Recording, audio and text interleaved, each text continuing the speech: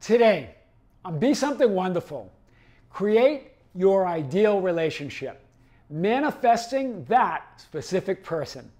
I am your host, Tom Kearin, and this is the Be Something Wonderful studio of higher consciousness, where we help you level up and become the best version of yourself. Creators, welcome back to the studios of Be Something Wonderful. Just a few minutes ago, we wrapped up our third live event of 2024 on the Be Something Wonderful membership channel. That, uh, vid- that video or that live event is now available to watch on the membership channel if you're a member and you missed it. If you're not a member and you're interested, there's a link below. Creators, big video today. I want to talk about this client that I've met with now over the last few months a few times. And, and it's interesting. It was related to a specific person. And this is a person that said, Tom, this is, you know, I've met with a lot of coaches. I've, I've been doing this for a while, but I'm beginning to think this is all BS, right? So was, this is one of those views of reality creation. So I'm going to talk about what happened, what we talked about, and really the powerful um, uh, shift he made in his reality. So I've tried everything to manifest her back. This is what he started out with when we had first talked. You name it. Is this stuff all just BS or not? Countless coaches. I'm fed up. Now, hear this. Clearly, he's creating this reality of being fed up, that it's all BS. These are assumptions within him. But really, the thing I wanted to focus on, he, his focus is on manifesting her back, the specific person not on shifting to a new identity and creating a, a new world and a new version of her, but focused on the old reality and getting her back in that reality. Do you see it? Thought he says he says here, I thought I was close, show it was showing signs. So I told her I wanted it to be more. And then she cut him off completely. Completely, not even friends. He was devastated. He was imagining it. That's why he goes, this stuff's all BS, right? It, it, he was imagining it. He was feeling like there were signs. And then he, he, he said, you know, he wanted it to be more, and that she cut him off completely. Again, you, this idea that, that he was imagining it, but from what perspective? From a reality of trying to manifest that version of her that doesn't want to be with him back. From that old identity of him right? Experiencing lack. He was in the middle, right? Which I've talked about, the messy middle. Tried to influence a version of her, created and being created by him in every moment of an, of an identity of him trying to manifest her back. Do you see it? He hadn't changed, so reality can't change. He didn't move to a new version of himself. It, remember, it's not about her. It's not about the middle, trying to make something happen in the middle.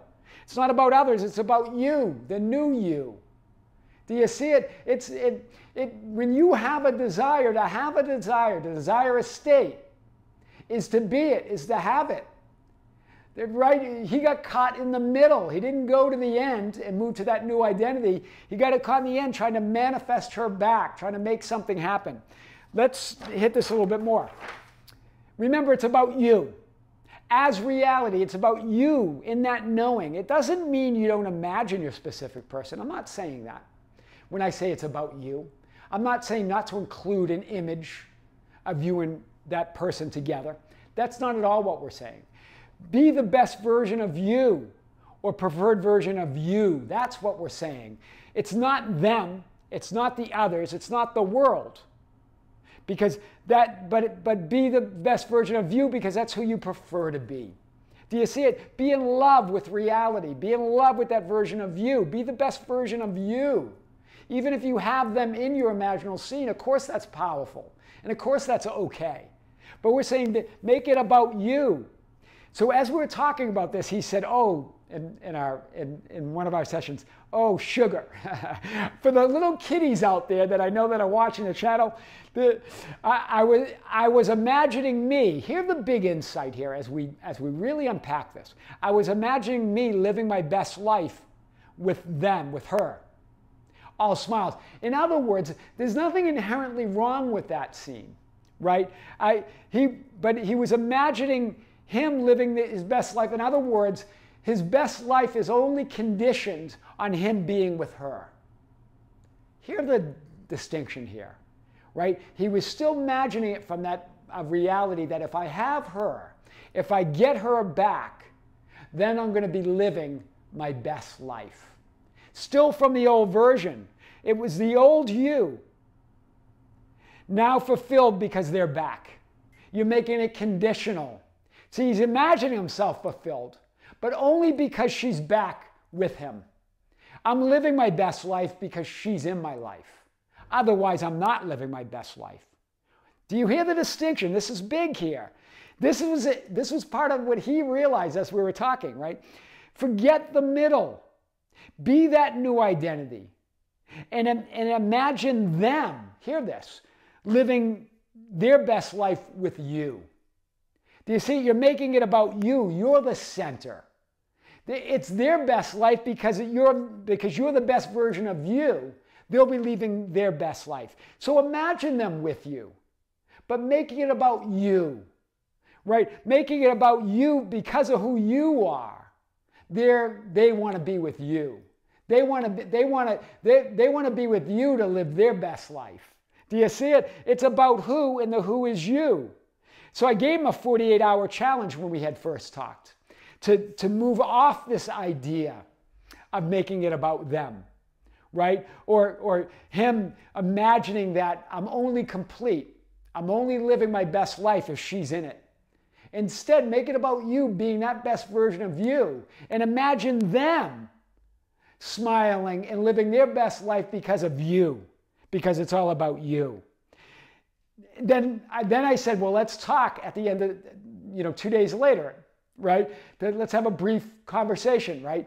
And, and it wasn't about, and it, nothing, he, he said, well, nothing's happened out there, but I know it's happened, right? He got this idea that it's not about what's happened out there. So that's why I wanted to talk to him. I go, it doesn't matter. You've created it. It doesn't matter. It's done right? Stay in this new identity. You're there, right? The whole idea of the 48 hour challenge is just to move him there to that desired reality, that desired version of him. Be that person with be that person with whom everybody's living their best life when they're with you. See the world as everybody thriving because of you, because you're the center. Right? Then just under 3 weeks later, they, she called him I'm, I'm, to him, it was unbelievable because she, she didn't even want to be friends with him. And now they're back together. This is powerful. I got tingles as we were talking about this. I want to I want to unpack this a little bit more. Some of the things that we talked about during our sessions. And definitely as we wrapped up this, this last session, what, what, how he has really moved, right? And what if all those thought and feelings, the people, events, and circumstances were not the source or cause of anything? Think about this. What if all that you want and desire, and I mean everything, were already fulfilled in the, in the having of them? Right? What if you just knew, had the knowing that you know, that you know, and that knowing itself is the only source and cause of reality of everything? you could ever be and desire. Well, then you wouldn't be trying to make anything happen. Do you see this? Let's, let's cover this more. That's what the ancients told us. And, and, and here, be still and know that I am God.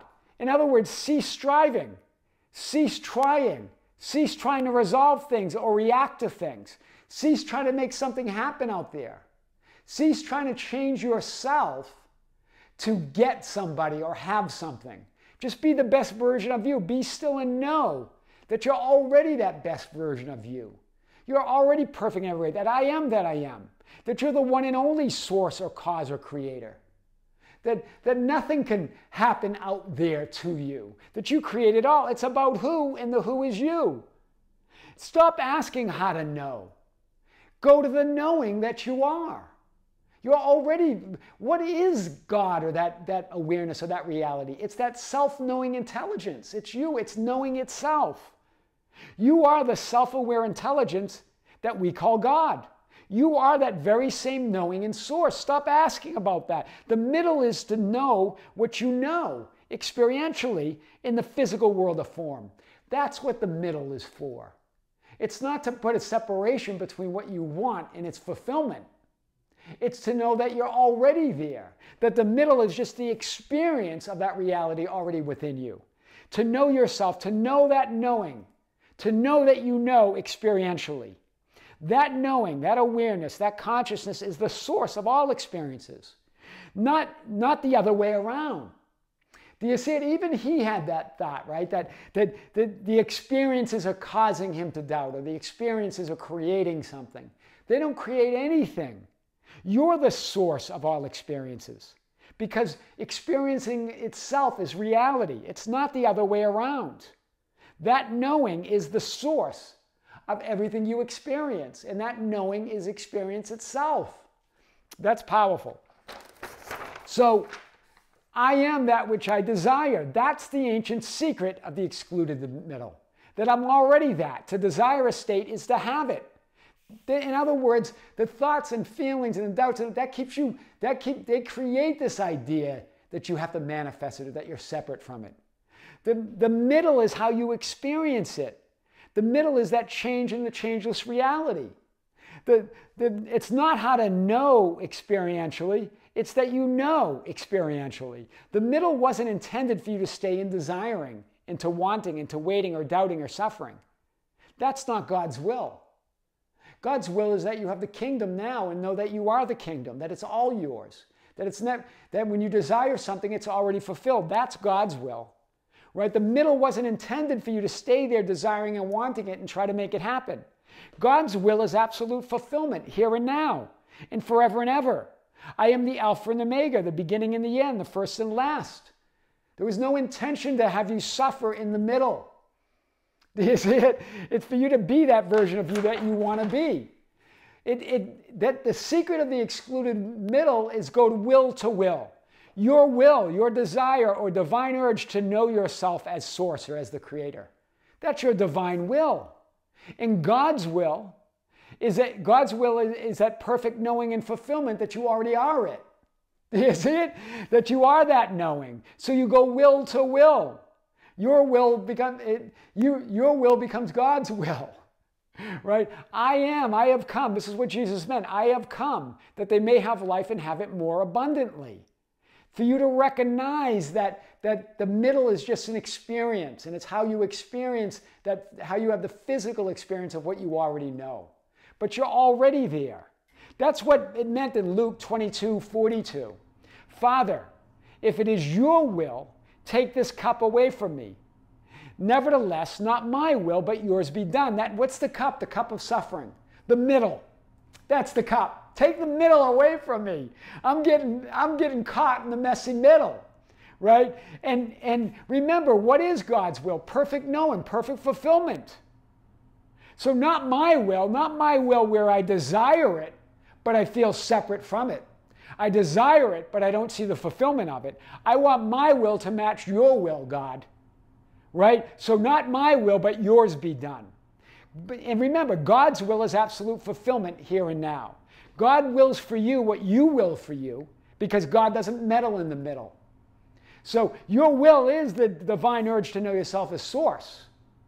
But if you're, if you're suffering, if you're creating the idea of suffering, if you're, if you're creating something else, then align your absolute will with God's, right? Your will matches God's will when you exclude the middle. It goes will to will. It goes from desire to fulfillment immediately. The middle is excluded. Right? God doesn't know anything of the middle, of doubt, fear, non fulfillment, or suffering. Doesn't meddle there. One allows you to think and feel and experience whatever you desire, whatever you choose but doesn't will that for you, wills for you perfect fulfillment because it knows that no matter what you experience, no matter what you think and feel and the conditions in that awareness that you are, it doesn't change who you are. God knows that. God knows the ending is guaranteed, it's a sure thing. You've got it all. That's powerful. So desire it means it's fulfilled. right? The middle is the beginning and the end. Assume, imagine, affirm, see, perceive, and experience reality as evidence of your new life and desired reality no matter what. This is what he did. Made it about him, but doesn't mean he didn't imagine his specific person, but imagines that the world and everything else revolves around him, revolves around his fulfillment, right? Imagine your specific person, others in the world living their best life with you as the center and as life itself. Wow, this is powerful. Not from the outside looking in, but from the inside looking in.